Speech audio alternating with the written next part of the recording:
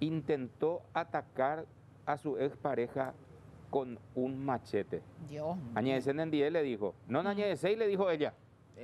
Va, y esa eso no vio- le gustó a él. No, pero atendena, va, esa, según, ya, vamos a ver qué dice la crónica. Mm. Va, esa vio machete en depope de J. Ñemón que estás No sé cómo te explico. Vamos, vamos a ver el informe, sí. Una mujer de 25 años temió por su vida cuando su expareja en aparente estado etílico ingresó a su casa ubicada en Toledo Cañada, Capiatá, en la madrugada de este lunes.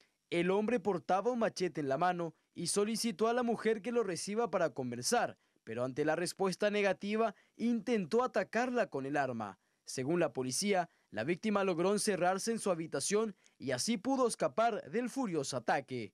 Finalmente llamó al 911 y luego de una persecución, la policía logró aprender al sujeto e incautar el arma. Se trata de Maximiliano Joel Colmán Ortiz, de 26 años de edad, con un antecedente por lesión grave. Llegó en el domicilio en total estado de ebriedad y con un arma blanca tipo machetillo le amenazó a su pareja con, con agredirle.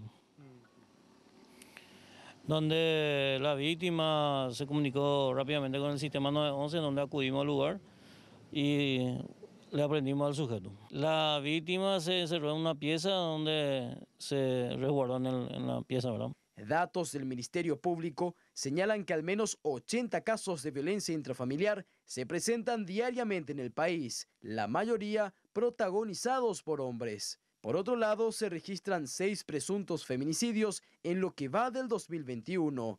La línea gratuita habilitada para estos casos es la 137.